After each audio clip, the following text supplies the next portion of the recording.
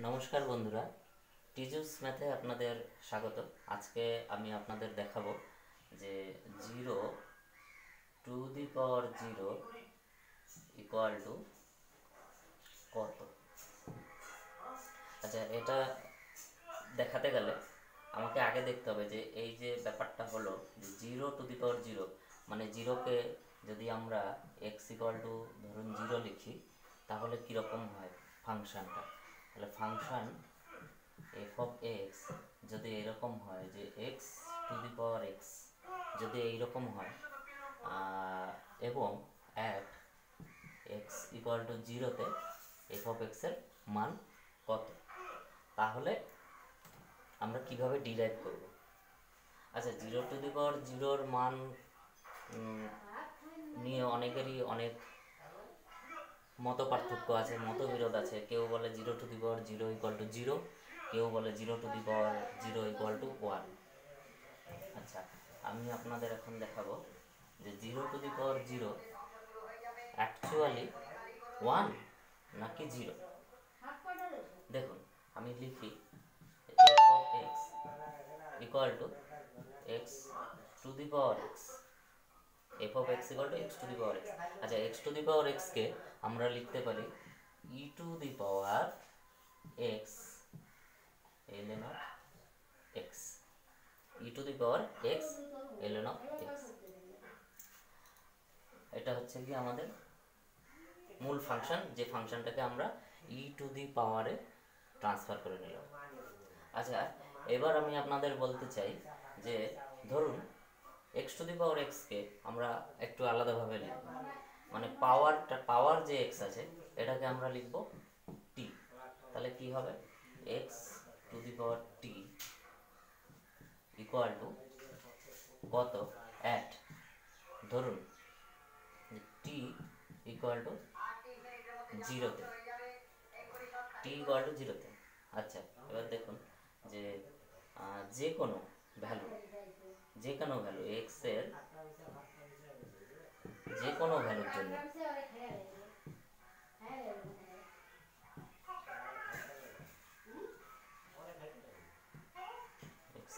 যে কোনো ভ্যালুর জন্য যদি এক্স টু দি পাওয়ার টি এর মান যেহেতু জিরো জিরো বসাই, তাহলে এর মান হয় এক্স টু দি পাওয়ার যে কোনো ভ্যালুর জন্য এর মান হয় ওয়ান আচ্ছা এবার দেখুন। টি এর যে কোনো ভ্যালুর জন্য এক্সের মান যদি আমরা জিরো বসাই, তাহলে কি হবে? টি এর যে কোনো ভ্যালু কি? উইদাউট জিরো টি এর ভ্যালু জিরো যখন নয়, তখন যদি এক্স ইকুয়াল টু জিরো হয় তাহলে কি হয়?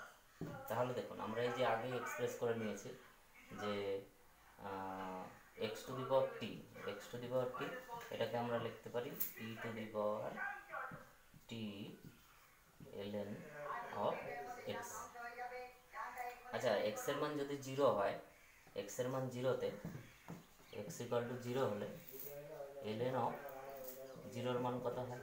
এলএন অফ জিরোর মান হয় মাইনাস ইনফিনিটি মাইনাস ইনফিনিটি আচ্ছা এইবার টি এর কোনো ভ্যালু আমি ফার্স্ট অ্যাট ফার্স্ট আমি চিন্তাই করছি না যে টি এর কী value one two three zero minus one কিছু চিন্তা করছি না। তাহলে কি হচ্ছে দেখুন, তাহলে হচ্ছে e to the power t into minus infinity e to the power t into minus infinity equal to কী হতে পারে? E to the power minus infinity ইনফিনিটির সাথে যাই কিছু মাল্টিপ্লাই করি আমরা ইনফিনিটি আসবে। এবার e to the power minus infinity এটাকে আমরা লিখতে পারি one by e to the power infinity R e to the power ইনফিনিটির মান ইনফিনিটি অর্থাৎ one by infinity equal to zero তাহলে কি হলো? এক্স টু দি পাওয়ার টি এর মান যখন এক্সের মান জিরো তখন হলো জিরো কিন্তু আমি আগেই বলে নিয়েছি। দেখুন, যে টি এর ভ্যালু জিরো নয় যেখানে আচ্ছা টি এর ভ্যালু যদি জিরো হয়, তবে কি হবে?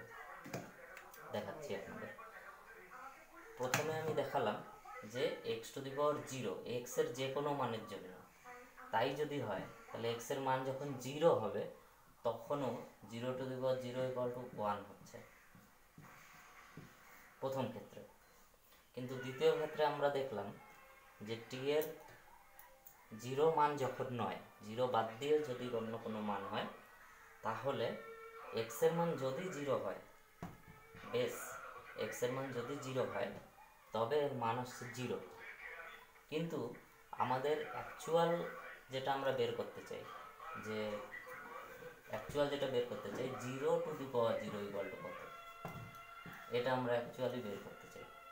যেখানে এক্সের মানও জিরো টি এর মানও জিরো কিন্তু এটা আমি যেটা করলাম, এটা পুরোটাই করলাম টি এর মান জিরো না ধরে যে টি টি এর মান জিরো না ধরে টি এর মান যদি জিরো হয়, তাহলে কি হবে?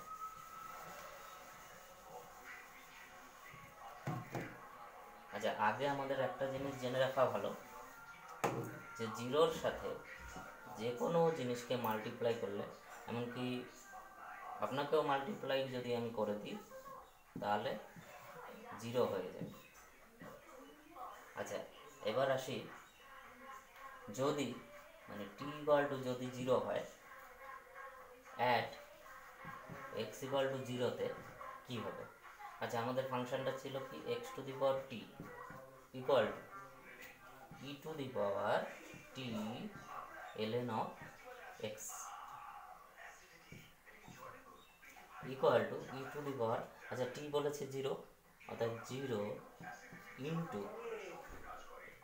ln of minus ln of zero ln of জিরোর মান কত? E to the power zero into minus infinity equal to e to the power zero equal to one অতএব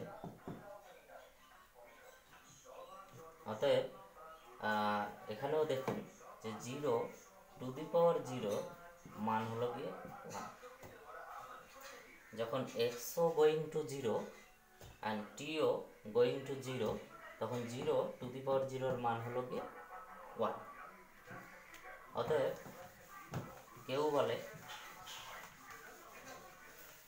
কেউ বলে zero to the power zero equal to zero এটা ঠিক। কিন্তু তখনই ঠিক তখনই ঠিক যখন t not equal to zero থাকবে t not equal to zero থাকবে। তখনই একমাত্র জিরো টু দি পাওয়ার জিরোর মান জিরো হতে পারে, যেটা আপনাদের একটু আগে দেখলাম কিন্তু যখনই জিরো টু দি জিরোর মান জিরো টু দি জিরো হচ্ছে, তখন জিরো টু দি পাওয়ার জিরোর মান যে কোনো ক্ষেত্রে, যদি আমি ধরছি যে এটাকে যদি আমি ওই ফাংশানে প্রকাশ করি f of x comma t equal to x to the power t ধরুন, তাহলে এক্সের মানও যদি জিরোর দিকে যায়, তবেও এর মান জিরো টি এর মান যদি জিরোর দিকে যায়, তো এক্সের মান যদি জিরোর দিকে যায়, তবেও এর মান ওয়ান এবং জিরো টি এর মান যদি জিরোর দিকে যায়, তবেও এর মান ওয়ান অতএব এটা আলটিমেটলি প্রুফ হয় যে zero to the power zero equal to always one এটাই ছিল আজকের বিষয়। নমস্কার। আপনারা সবাই ভালো থাকবেন। নমস্কার।